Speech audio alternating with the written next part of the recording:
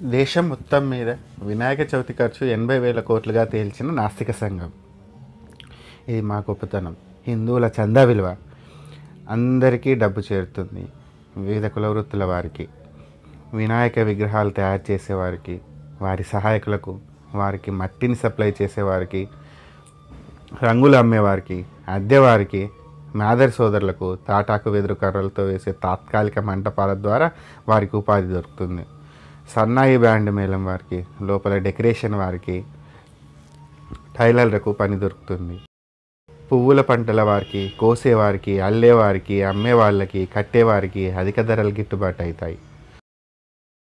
ట్రాలీలు లారీలు వివిధ బళ్ళు నడిపే వారికి అధిక ధరలు చెల్లింపులు జరుగుతాయి. దాదాపు ప్రతి మంటపంలో అన్నదానాలు జరుగుతాయి కలిసి భోజనాలు జరుగుతాయి. సమాజంలో సమరసత పెరుగుతుంది.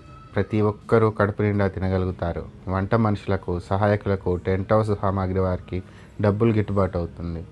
వివిధ రకాల డెకరేషన్ లైటింగ్ సౌండ్ అందించే వారికి మంచి సహ ధరకు వారి సామాగ్రిని అద్దెకిస్తారు. బ్రాహ్మణులకు పురోహితులకు సంభావన దక్కుతుంది. తగిన పారితోషికం లభిస్తుంది. నవతరానికి సనాతన సాంప్రదాయం పరిచయం అయ్యేది ఈ వినాయక మండపాల నుంచి అంటే అతిశయోక్తి కాదు. ముఖ్యంగా ఆనాడు జాతీయోద్యమం కోసం ప్రజల్లో ఐక్యమత్యం తీసుకురావడానికి బాలగంగాధర్ తిలక్ గారు ప్రవేశపెట్టిన నవరాత్రులు నేడు దేశానికి ఇంతమందికి ఉపాధి కల్పిస్తుంది. అంటే ఇంకా గౌరవంగా ఉంది.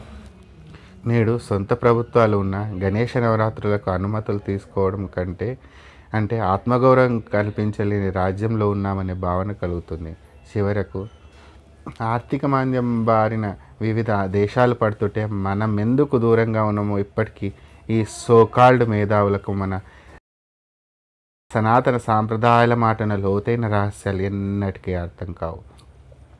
ప్రతి పండుగ మనకు ఒక్కో మేలును కలిగిస్తూ ఒక్కో కులానికి ఏడాది పొడుగునా ఆర్థిక భద్రతను కల్పిస్తుంది. ప్రతి ఒక్క కులము గొప్పదే. ఏ కులం లేకుండా మరొక కులం మనజాలదు. కులం అంటే వృత్తి. మా భక్తి చాటున వ్యావహారిక సాంస్కృతిక సనాతన సాంప్రదాయాలు వాటి వలన సమభావం తద్వారా వసుదైక కుటుంబకం అనే సిద్ధాంతం దాగి ఉంది. అర్థం కాని వారు ఏడాది పాటు వెయిట్ చేసి ఒకే ఒక్క పండుగ చేసుకొని ఆర్థిక మాంద్యం బారిన పడే దేశాల ఆర్థిక విధానాల మీద పిహెచ్డి చేసి మా పండుగల జోలికి రాగలరు. మరొకసారి పునఃబోధన ఉంటుంది.